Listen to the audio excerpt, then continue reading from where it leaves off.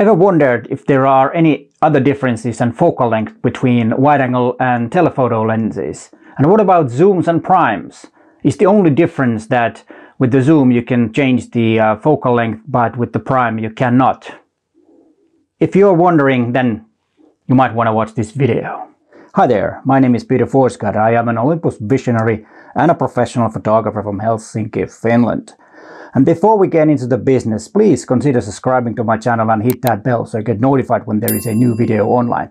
My channel is all about you getting to be a better photographer and of course about Olympus gear. But let's start with some basics first and let's talk about focal length and why we're talking about the crop factor. Even though we're talking about the crop factor, which is uh, 2 with uh, micro four thirds and 1.5 with APS-C cameras and it's compared to full frame cameras. Why do we talk about crop factor? Because the focal length does not change. A lens is a 25mm lens, no matter what size sensor behind the lens is. The only thing that we use the crop factor is to understand what the angle of view will be when a 25mm lens is put into a micro four thirds camera or 25mm is put into a uh, full frame camera the angle of view will be different. That's why we need to use crop factor, although we don't need to, but we can so that we can understand a bit better what the outcome will be with different lenses on with different sensor sizes. And then what about aperture? Should we use the crop factor too with aperture? Well, the answer is yes and no. Let me explain. Yes, when it comes to depth of field.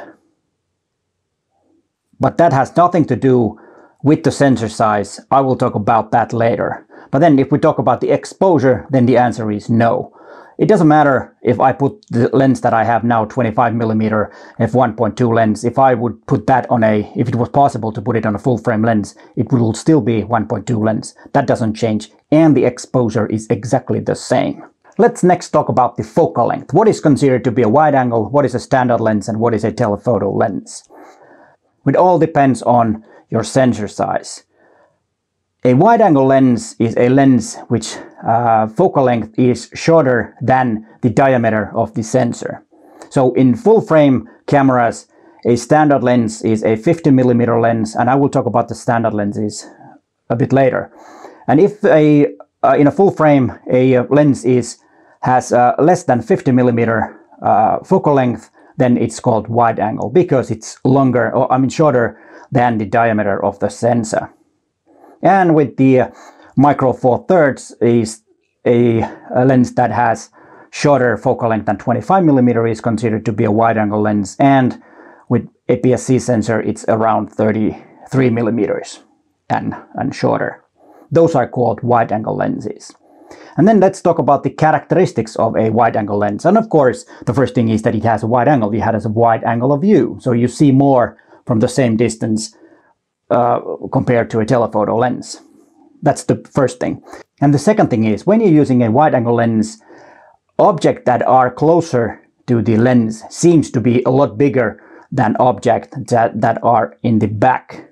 And that's the characteristics of a wide angle lens and it's very effective to use that. And that's why when you're using wide angle lens, it's usually really good to have something in the foreground and then you will have uh, so-called uh, uh, different layers to the image for the eye to wander around the image.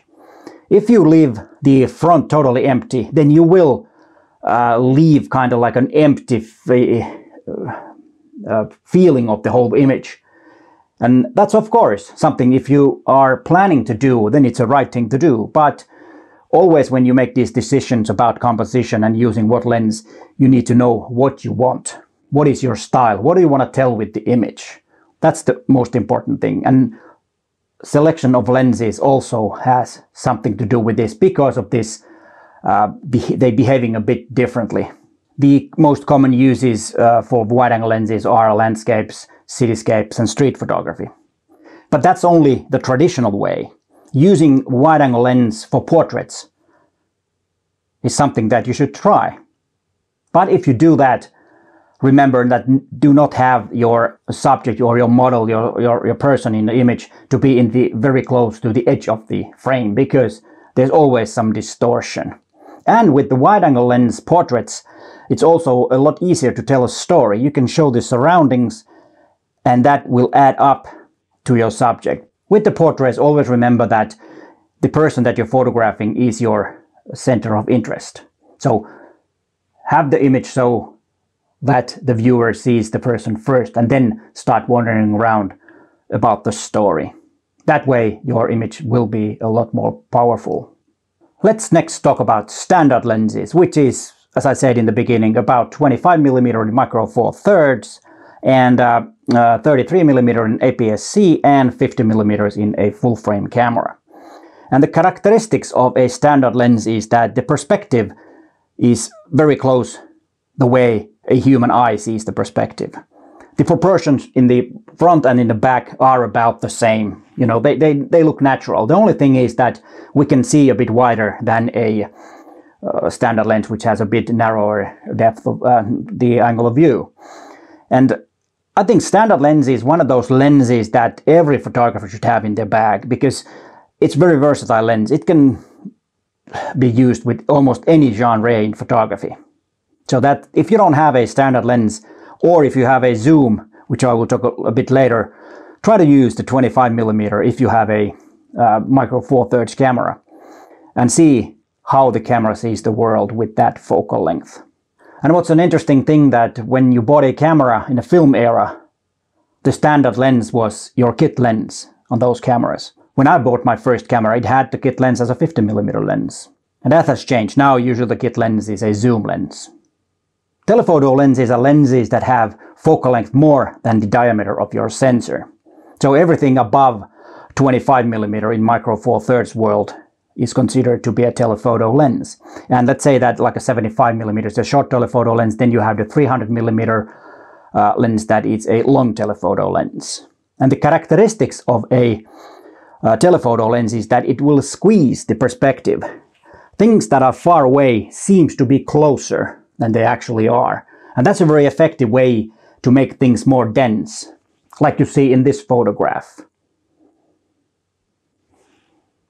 And yes, those who know, it is Easter Road, the home of the Hibernian in Edinburgh. Short telephoto lenses are really great for portraits because it's, it makes a natural perspective. It will squeeze a bit, but not too much. It's, it's usually very nice for portraits. And then long telephoto lenses are commonly used in wildlife and bird photography. But it can also be used in landscapes and cityscapes. It will give you a bit different perspective to the whole area. It will squeeze the perspective and let's say like in the cities, it will make it more crowded and more packed, which could be a very effective uh, thing in your composition and in your story when you're making images. But before we get into depth of field, let me talk about primes and zooms first and the differences between those two type of lenses. Of course, the obvious dif difference is that prime lenses has a fixed focal length and zooms have variable focal lengths. But there are usually some other differences too, and the main difference is the fastest aperture. Prime lenses are usually faster than zoom lenses. Of course, there are some exceptions, but that's in, in general, that's the way it is. And that's why prime lenses are really handy to have just because they are a lot faster. Let's say that you have the kit lens, then a prime lens on the side, a fast prime lens is a really, really wide decision to have for those low light moments, whatever you photograph, on your travels, on your free time, whatever it is. A fast prime lens is really a good thing to do or to have. What focal length should you have? Well, that depends on your shooting style and what you are planning on shooting with it. That's that's uh, the decision that you have to make yourself by uh, learning the characteristics of different types of lenses. Back in the days, it used to be so that professional photographers used prime lenses and amateur used zoom lenses. And the only reason was, uh, actually two reasons. Usually prime lenses were, were really good quality and also fast, but then they were also a lot more expensive than zoom lenses. But nowadays there isn't any big uh, image quality difference. So I wouldn't uh, make my decision buying a prime or zoom because of the uh, image quality. I would uh, have some other things that uh, I would consider. And I have both zooms and primes, and I use them. You know, sometimes I need a zoom and sometimes I need a prime. It depends on the things that I'm doing. The advantage of a zoom lens is that you have several lenses in one lens. As I said in the beginning of this video that depth of field has nothing to do with uh, sensor size. There are three things that matters. Focal length, focusing distance, and the aperture. So the angle of view is the reason that people think that with micro four thirds you have more depth of field. Because to get the same angle of view, you need a wider lens, and wider lenses tend to have, or not tend to have, they do have more depth of field with the same aperture and the same focusing distance. That's why we think it's the sensor, but it's not, it's the angle of view. And here are some more videos about lenses. If you are planning on getting a lens, you might want to watch those videos. But hey, thanks for watching and bye for now.